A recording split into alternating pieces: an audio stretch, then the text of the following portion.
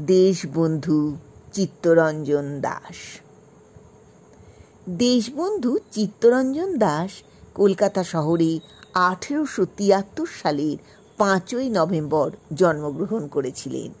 তার পৈতৃক নিবাস ছিল বাংলাদেশের ঢাকা জেলার বিক্রমপুরের তেলিরবাগ অঞ্চলে। পিতার নাম ভুবন মোহন দাস। তিনি ছিলেন কলকাতা হাইকোর্টের একজন স্বনামধন্য উকিল। ধনী হলেও তিনি খুব সহজ, সরল জীবনযাপন করতেন। এছাড়াও তিনি ছিলেন সঙ্গীতজ্ঞ। চিত্তরঞ্জন দাসের মাতার নাম ছিল নিস্তারিণী দেবী। যখনই কেউ তার কাছে সাহায্যের জন্য আসতেন, তাদের সবাইকে সাধ্যমতো সাহায্য করতেন। চিত্তরঞ্জন দাসের ভাইয়েরাও ছিলেন বিখ্যাত আইনজীবী। চিত্তরঞ্জন দাসের লেখাপড়া শুরু হয়েছিল ভবানীপুরের লন্ডন মিশনারি বিদ্যালয়ে। আঠেরোশো ছিয়াশি সালে তিনি প্রবেশিকা পরীক্ষায় উত্তীর্ণ হন। আঠেরোশো নব্বই সালে তিনি প্রেসিডেন্সি কলেজ থেকে বিএ পাশ করেন। এরপর তিনি আইসিএস এবং ব্যারিস্টারি পড়ার জন্যে বিলেত যান। সেখানে ভারতের ছাত্র আন্দোলনে যোগ দিয়েছিলেন। ইংল্যান্ড থেকে ব্যারিস্টারি পাশ করে চিত্তরঞ্জন দাস আঠেরোশো তিরানব্বই সালে দেশে ফিরে আসেন। আঠেরোশো সাতানব্বই খ্রিস্টাব্দে বাসন্তী দেবীর সাথে তাঁর বিবাহ হয়। প্রথম দিকে আইন ব্যবসায় তিনি সেভাবে সফলতা পাননি। কিন্তু উনিশশো আট সালে আলিপুর বোমা মামলা শুরু হলে তিনি আদালতে শ্রী অরবিন্দ এবং অন্যান্য বিপ্লবীদের সমর্থনে সওয়াল করেন। তিনি জানতেন শ্রী অরবিন্দকে রক্ষা করতে না পারলে দেশের সর্বনাশ। তার আইন জ্ঞান, বলিষ্ঠ ও তেজদৃপ্ত সওয়ালের ফলে শ্রী অরবিন্দ সব অভিযোগ থেকে মুক্তি পেলেন।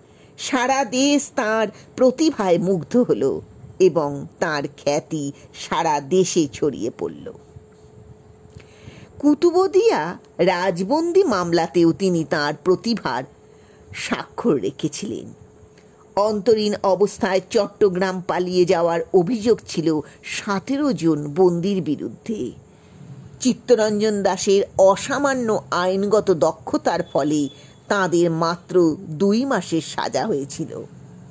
উনিশশো দশ সালের ঢাকা ষড়যন্ত্র মামলায় অভিযুক্ত তেত্রিশ জন বিপ্লবীর মধ্যে বেশ কয়েকজনের শাস্তি তিনি কমাতে পেরেছিলেন। তিনি স্বাধীনতা সংগ্রামীদের পক্ষে সমস্ত মামলাই বিনা পারিশ্রমিকে করতেন। এছাড়া গরিব মানুষদের পক্ষে মামলা লড়ার জন্যেও তিনি পারিশ্রমিক নিতেন না। বাড়িতে সুখ, সাচ্ছল্য ও শান্তি থাকলেও পরাধীন দেশমাতৃকার জন্যে তার মন কেঁদে উঠত। তিনি বলতেন, আমি সর্বাঙ্গে লৌহ শিকলের ঝনঝনানি শুনছি। আমার সর্বাঙ্গে আমি বেদনা অনুভব করছি। পরাধীনতার শৃঙ্খল আমাদের ভাঙতে হবে। ইহাতে আমার যদি মৃত্যু ঘটে, তাতেই বাকি চিত্তরঞ্জন দাস কাব্য রচনাতেও পারদর্শী ছিলেন। তার লেখা উল্লেখযোগ্য কাব্যগুলি হল অন্তর্যামী, মালঞ্চ, সাগর সংগীত প্রভৃতি। শ্রী অরবিন্দের মতো পণ্ডিত তাঁর কাব্য পাঠে তৃপ্তি পেতেন। চিত্তরঞ্জন দাস অন্যায়কে কখনো প্রশ্রয় দেননি। সামনে দাঁড়িয়ে যে কোনো অন্যায়ের প্রতিবাদ করেছেন। আবার প্রয়োজনে নিজের সব কিছু অকাতরে দান করেছেন। বাংলার ইতিহাসে তিনি দানবীর হিসাবে সুপরিচিত হয়ে আছেন। দেশবাসী তাকে দেশবন্ধু উপাধিতে ভূষিত করেছিল। মৃত্যুর আগে দেশবন্ধু তার পৈতৃক বসত বাড়িটিও জনসাধারণের জন্য দান করে যান। পরবর্তীকালে সেখানে তৈরি হয় চিত্তরঞ্জন সেবা সদন। যার বর্তমান নাম চিত্তরঞ্জন ক্যান্সার হসপিটাল। শৈশব থেকেই তিনি স্বনামধন্য বিপ্লবী মনীষী বিপিনচন্দ্র পাল, অরবিন্দ ঘোষ, সরোজিনী নাইডু, অতুল প্রসাদ সেনদের সংস্পর্শে এসেছিলেন। এদের জীবন কাহিনী চিত্তরঞ্জন দাসের জীবনে বিরাট প্রভাব বিস্তার করেছিল। আইন পেশার পাশাপাশি বৈপ্লবিক কর্মকাণ্ডও তিনি সমান তালে চালিয়ে গেছেন। উনিশশো তিন সালে কলকাতায় প্রমথ মিত্র ও চিত্তরঞ্জন দাস অনুশীলন সমিতি প্রতিষ্ঠা করেছিলেন। প্রথম পাঁচ বছর তিনি এই সমিতির সভাপতি ছিলেন। অরবিন্দ ঘোষের বন্দে মাতারাম পত্রিকার সঙ্গেও তিনি যুক্ত ছিলেন। উনিশশো ছয় সালে কংগ্রেসে যোগ দিয়েছিলেন। উনিশশো সতেরো সালে প্রাদেশিক রাজ্য পরিষদের সভাপতি নির্বাচিত হয়েছিলেন। তিনি কংগ্রেসের মধ্যে চরমপন্থীবাদের সমর্থক ছিলেন। উনিশশো আঠেরো সালে রাওলাট আইনের তীব্র বিরোধিতা করেছিলেন এবং মহাত্মা গান্ধী পরিচালিত সত্যাগ্রহ আন্দোলনেও অংশগ্রহণ করেছিলেন। উনিশশো কুড়ি সালে চিত্তরঞ্জন দাস ওকালতি ছেড়ে দেন। এবং স্বাধীনতা আন্দোলনে পুরোপুরি জড়িয়ে পড়েন।